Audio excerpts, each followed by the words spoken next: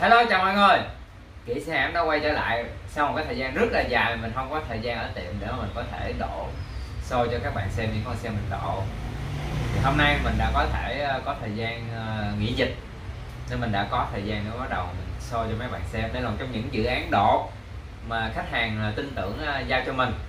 Vị khách này đến từ Malaysia nhưng mà là người Việt Nam. Nói chung là có hai quốc tịch.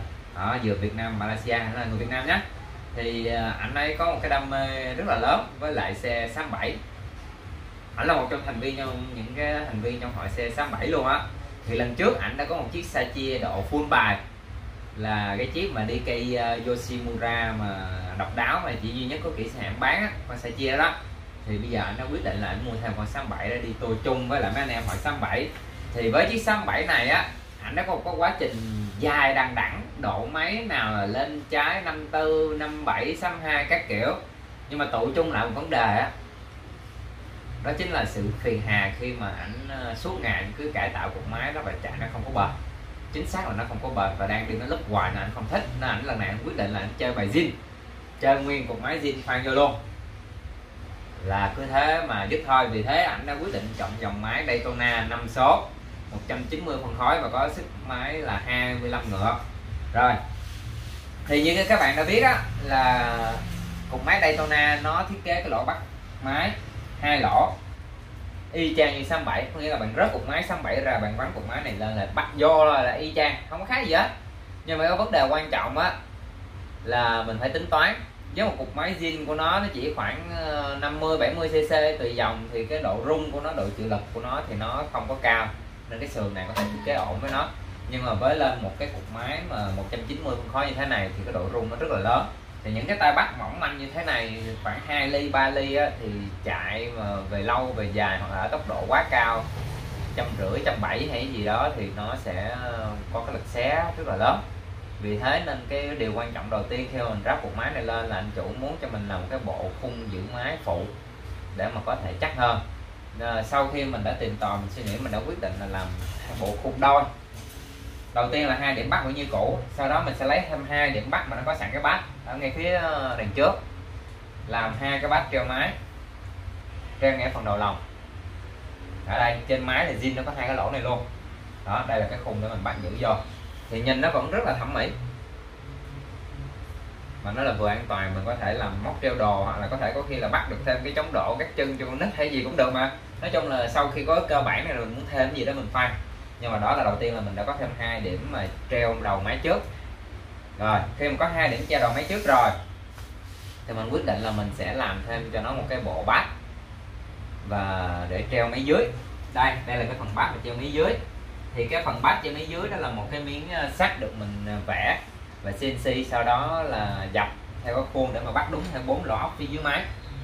Thì khi bốn lỗ ốc bắt dưới máy, định hình miếng đó rồi, nó sẽ có một cái thanh nối từ cái phần chống đứng, chịu lên phần trên đây.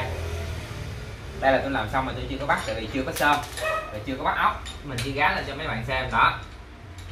Đó, như thế này. Có nghĩa là sau khi mà chúng ta làm xong, thì xe vẫn hoàn toàn là có chống đứng bình thường, nguyên bản, không vấn đề gì cả và có thêm cái tay bắt đi theo cái bộ chống đứng đây. Thì sau khi cái phần bắt máy xong mình bắt đầu sẽ suy nghĩ tới cái phần cái phần chân cần số. Thì mình đã sử dụng cho ảnh một cái bộ bát CNC để mà nói cái điểm giữa các chân này với các chân này là một cái bát.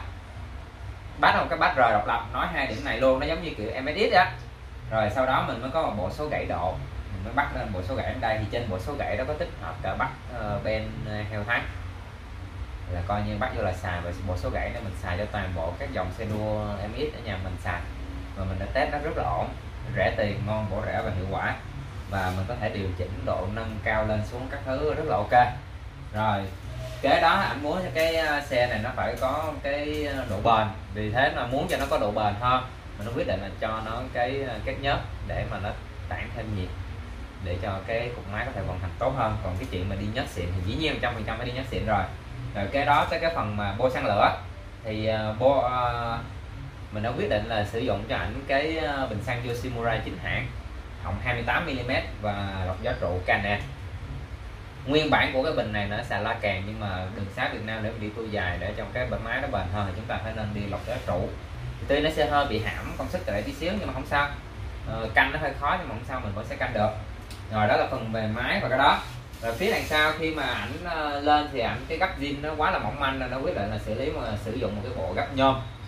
Còn gấp nhôm ờ, này là của xe quay thì khi mà xài gấp nhôm này, ảnh quyết định là thay một cặp phụ thì phụ mình, tư vấn cho anh có thể xài ngon bổ rẻ là racing boy là được ok rồi. Vì thế là nó thay một cặp racing boy mới. Phía đằng sau thì ảnh ờ, vì ảnh lần trước ảnh là độ nguyên một con xe chia F150 mà ảnh độ ảnh thay mâm racing boy hết, full chiếc xa rồi nên ảnh dư ra cặp mâm zin vì thế nên lần này là cặp bông zin này đã có tác dụng khi mà sử dụng qua cho con 67 này. Và anh sẽ quyết định là sử dụng ờ, thắng đĩa trước sau luôn. Phía đằng sau sử dụng con heo Formula 2 đít làm bát quay ngược số. Rồi quay lên trúng nhé phổ. Rồi, đi đĩa lớn luôn. Để mà cái ờ, hiệu quả thắng nó cao hơn. Rồi, phía đằng trước thì cũng sẽ đi một con Formula 4 piston nhỏ gọn, mini nhưng mà cực kỳ hiệu quả. Chỉ làm bát là bắt vào ghi đông ảnh sử dụng cái bộ phuộc trước là bộ phuộc của GXS 150 bộ ghi đông naked theo nguyên bản và anh muốn là xài cái ghi đông 67 nguyên bản là nó hơi nhỏ gọn như thế này. Rồi đó là những phần mình làm. Ngoài ra ngoài ra thì à, những cái phần bo là mình sẽ làm à, nguyên cái phần của bo titan. Kèm lon bo thì bây giờ đang à, kiếm cho một cái lon ngon ngon và xe này nói chung là sắp xong rồi đây là cái bát dèo cái ta bát dèo cũng đang trong quá trình hoàn thiện để mình làm cho anh mình thủ công. Sau khi ờ, xe này xong thì ờ, cái ờ, hiệu suất mình hy vọng là có thể là đạt được tốc độ khoảng 160 GPS và cái độ bền của nó có thể là một phát một tour bạo lực Sài Gòn, Đà Nẵng. Ngàn cây số vẫn ổn. Đó là cái yêu cầu của mình đưa ra rồi, thì cái dự án này thì có thể là sẽ sớm thôi mà hoàn thành, tại vì cơ bản là những cái món như là yên, sườn, bình xăng, các thứ của anh đã cơ bản hết rồi. Chỉ còn lại phần đấu nói canh chỉnh máy, dàn điện với lại ráp những cái bộ phận còn thiếu thôi. Thì có thể là chiếc xe này chỉ gồm hai phần thôi, và đây là phần 1 và phần 2 sẽ là phần sau khi mà hoàn thiện xong rửa sạch sẽ, nổ máy, các thứ, sẽ là phần 2 finish. Rồi, đây là con 67 thành thánh và số tiền mà chủ xe bỏ ra cho chiếc xe này cũng hơi bị nhiều tiền đó. Khá là nhiều tiền nội à, cục máy với lại cái bình Yoshi Canon này thôi gắn nhớ thì đã hơn ngoài ba mấy triệu rồi. Chưa kể là mấy dàn heo thắng trước sau thì tôi nghĩ là cả phục tiếp rồi chắc là chi phí tổng của nó cũng khoảng chừng tầm uh, bảy chục. Cả đó tôi nghĩ cả cả đó. Ok mong là mọi người đã có một cái một cái nhìn về sự sáng tạo khi mà chúng ta làm cái treo bắt máy này. Thật ra tôi có nói với những người thợ của tôi nói chung là cái đó mình nên nghĩ thoáng hơn tí là sẽ dễ làm hết. Chỉ cần mình có cái con đường nghĩ thoáng thôi, mình sẽ làm được xe độ thôi. Rồi, ok, chào mọi người, bye bye, hẹn gặp lại ở phần 2 của chiếc 67 độ